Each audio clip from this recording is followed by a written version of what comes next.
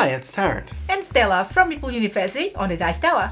Today we'll be teaching you how to play Catacombs Cubes, game designed by Ken Ballas and Aaron West and published by Elzra Corp. Let's get to the table. Catacombs Cubes is a drafting and construction game for 1 to 4 players set in the world of catacombs. In the game, players will draft building resources from the quarry and then fit them together in order to construct different buildings or contribute to the palace. All of this will earn victory points and other bonuses for the players.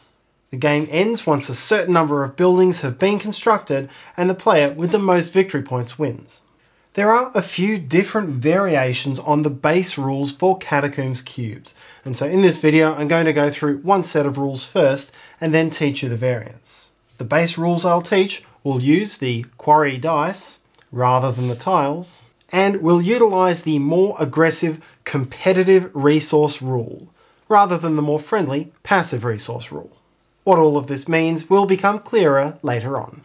To set up the main board, each player places a scoring marker on zero of the score space and a smaller palace marker on zero on the palace track. Shuffle all of the blue village structure tiles and then place one onto each of these four blue coloured spaces as well as one on the white space. The ones in the blue spaces are the structures currently in play and the one in the white space is the next structure in play. Place the rest of the deck face up near the board. Shuffle the pink palace tiles and place two of them face up in this space. The rest are returned to the box. All players take a player board and then agree whether all players will use the symmetrical coin side or the asymmetrical resources side. If you choose the asymmetrical side, place the matching resources in your construction yard. And if you choose the symmetrical side, each player places one of each coin in their coin chest. Shuffle the purple residence tiles and then deal each player one at random, and return the rest to the box. Each player takes a little house-shaped residence token in their colour, and choose a player to take the Quarry Foreman token in the first round. Set the quarry board and the quarry dice nearby. Use all 8 dice in a 4 player game and return the purple dice in a 2 or 3 player game. Set the six piles of quarry resources nearby and place the starting town hall tile, which shows this image on both sides, in the center of the table. You're now ready to play. Catacombs Cubes is played in rounds. At the start of each round, the player with the Quarry Foreman token rolls all of the quarry dice and then arranges them into pairs on the quarry board by their colour. The quarry foreman then has the option to make one swap of dice, exchanging their relative positions on this grid. The different columns now represent the different quarry offers available in this round.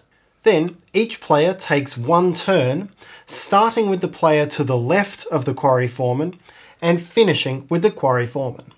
On a turn, a player must take one main action, which must be either to draft one of the quarry offers, taking the matching resources from the supply, or foregoing the quarry offers to spend resources and build a structure. On their turn, a player may also spend any number of coins to take the corresponding coin actions, either before or after the main action. Once all players have taken a turn, the round is over. The quarry foreman marker is handed one step to the left around the table, and a new round begins with the dice rolled once again. So now let's look at each of these actions in detail. The first main action is to draft a quarry offer, and the simplest of these is if the offer depicts specific quarry resources. To do this, you simply take the quarry resources shown on the dice and add them to the construction yard area of your player board. There are actually two locations on your player board for quarry resources, your construction yard and your warehouse. Unless otherwise stated, resources that you gain will go into your construction yard. Moving them to your warehouse requires a different action, which we'll talk about later. This can be worth doing because any resources in your warehouse are safe from being lost or stolen by other players while anything in your construction yard might be at risk. With the exception of the single cube obsidian, most of the quarry resources are quite limited, with only 5 or 6 available in the game. If you ever need to draft a resource and there are none left, then you must steal it from the construction yard of another player. This is one reason why moving resources to your warehouse keeps them safe. If there are none of the matching resource available in any other player's construction yards, then you receive nothing for that die. If you draft a die showing this icon, then you may take any quarry resource currently in the quarry supply and add it to your construction yard. You're not allowed to steal from another player using this die. If you draft a die with this icon, that allows you to optionally chisel one cube off an existing quarry resource that you hold. For example, you could knock this cube off to turn this piece into this one, or knock this cube off to turn this piece into this one. The smaller piece goes in the construction yard or the warehouse, whichever one the larger piece was already in. You do not get to keep the cube that was chiseled off. Assume it was destroyed in the chiseling process. The final icon that's available is this one, which allows you to start contributing to the construction of the palace. I haven't spoken about the palace yet, and so I'll come back and talk about this action a little bit later in the video.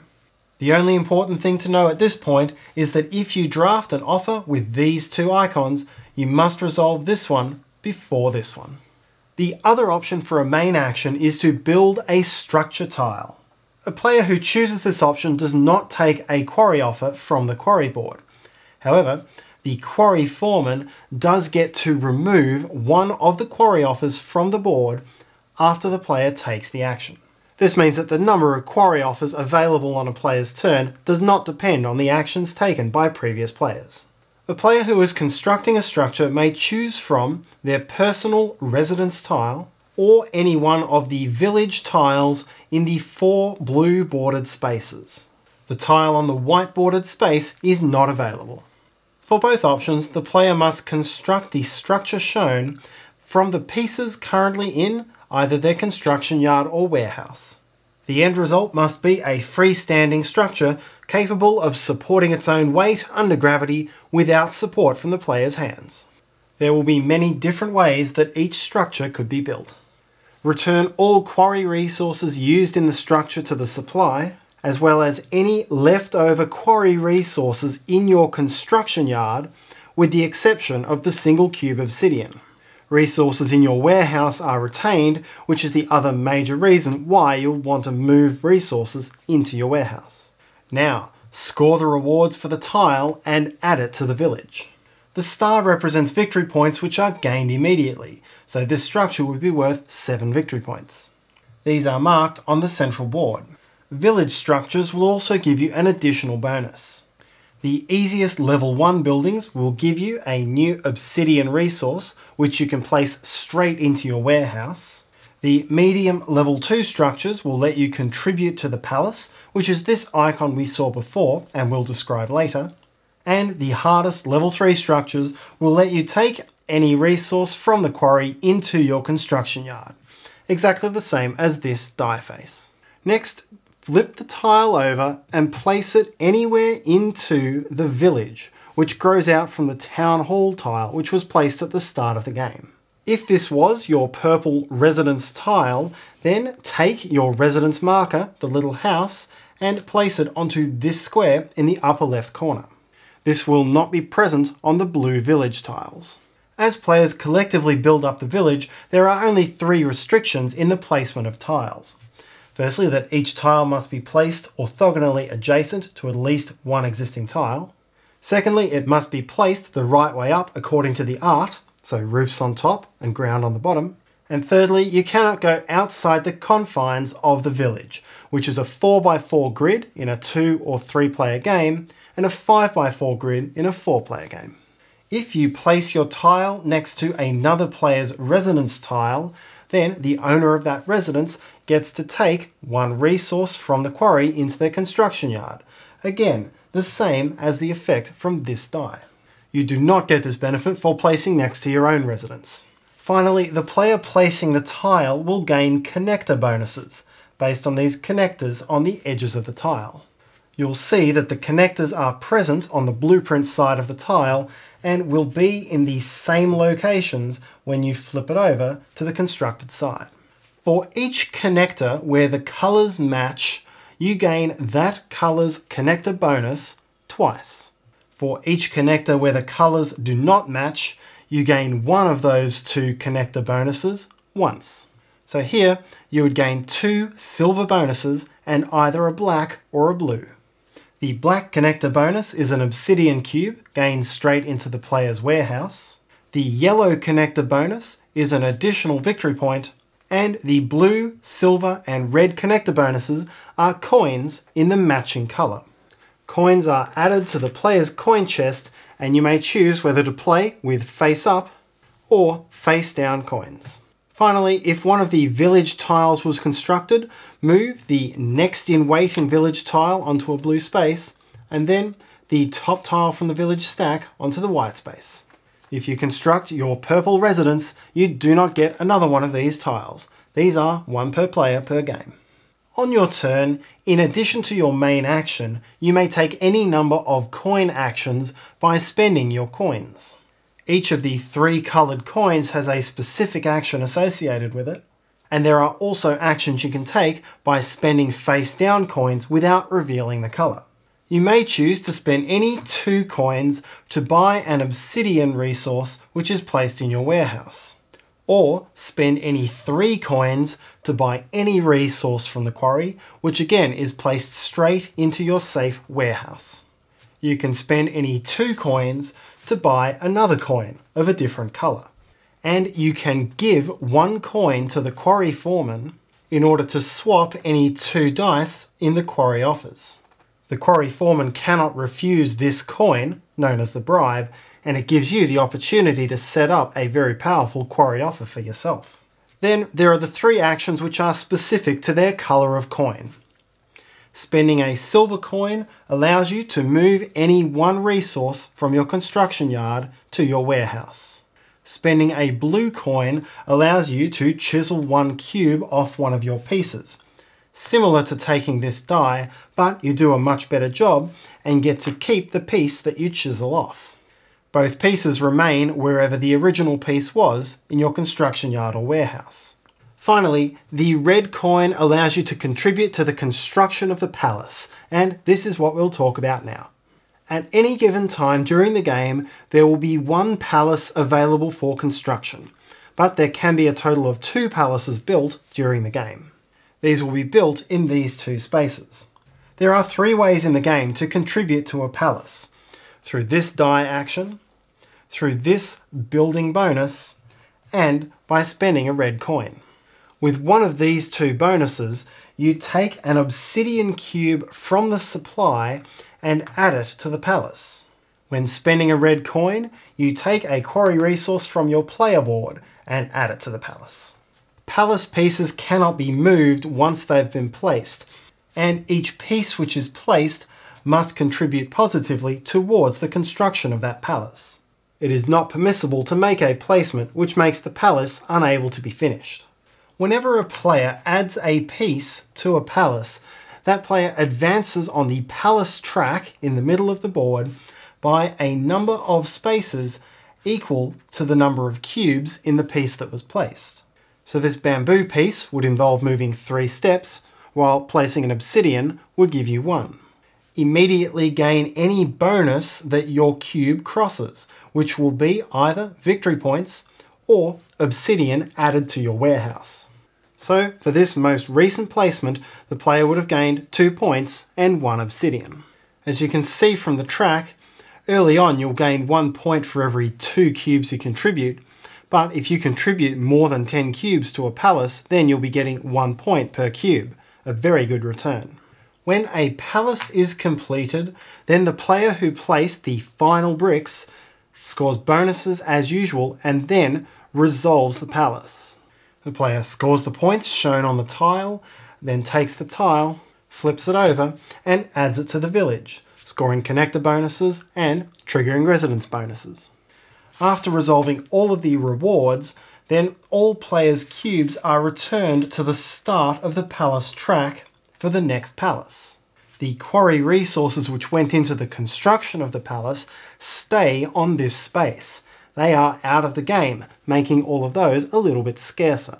Then start building the second palace the same way that you built the first. Once both palaces have been completed, players may still continue to take palace actions, but they'll simply return the resources to the quarry supply. They'll still advance on the palace track and gain the rewards as printed, but will not gain any more benefits once they reach 20 on the palace track. The end of the game is triggered when the village is complete, which is a 5x4 grid in a 4 player game, or a 4x4 grid in a 2 or 3 player game. Then proceed to end of game scoring. If you've been playing with face down coins, then flip them face up and resolve each colour of coin for majorities. Take the blue coins as an example. The player with the most coins of a given colour gains 5 points, the player with the second most gains 3 points, and the player with the third most gains 2. In the event of a tie, such as here, for first place on red coins, the tied players both gain the higher number of points. So in this case, 5 points each. Players with no coins in a given colour, such as these players with red, gain no points for that colour. After resolving all three colours of coins, the player with the highest score wins. In the event of a tie, the player with the most total leftover coins is the winner, and if still tied, the player who is furthest on the final palace track breaks the tie. If still tied, victory is shared. Players who want to play a friendlier variant of the game can use the passive resource rule rather than the competitive resource rule. Under these rules, when you draft a quarry resource which is not available, you do not steal from another player. Instead, you take the next strongest available resource which is still in the quarry supply, starting from this end and decreasing in quality down to this end. Additionally, when a player constructs a structure as their main action, instead of the quarry foreman choosing any one of the quarry offers to remove, these are removed automatically from left to right. Do note though that the quarry foreman still gets to choose the left to right order of the placed dice pairs. As mentioned before, players may collectively choose to play with either face up or face down coins. Using face down coins makes the final majority count for coins less predictable, while using them face up allows you to respond directly to your opponents. When playing with face down coins, remember that the only actions which require you to reveal a coin are the three coin coloured actions. For all other actions, you can discard the coins face down. The other variation you can use is to set up the quarry offer using tokens rather than dice. To set up, shuffle all of the quarry tokens into decks. Then, at the start of each round, the quarry foreman begins by dealing tokens from the top of the decks into the brown bordered spaces until there are three pairs in a two or three player game, or four pairs in a four player game, much like the dice. Then, the quarry foreman takes the next tile, looks at it secretly, and then places it face down into one of the columns. This is repeated until all of the columns are filled. A face down tile cannot be moved once it's been placed. Then, again, starting with the player to the left of the quarry foreman and going around the table clockwise, players choose their quarry orders, but when taking from a column, the player may choose only two of the three tiles. If the player drafts the face down one, it must be revealed to the other players before being taken. At the end of the round, all tiles, drafted or otherwise, are revealed and then discarded to a discard pile. These are shuffled back into the draw decks only once the draw decks are empty. And that's how to play Catacombs Cubes. Hope you enjoyed the video. If you enjoyed this video, please help us by hitting that like button and subscribe to the Dice Tower if you haven't already done so. And finally, if you have any questions, comments or feedback, please write them in the comments section below. Until next time!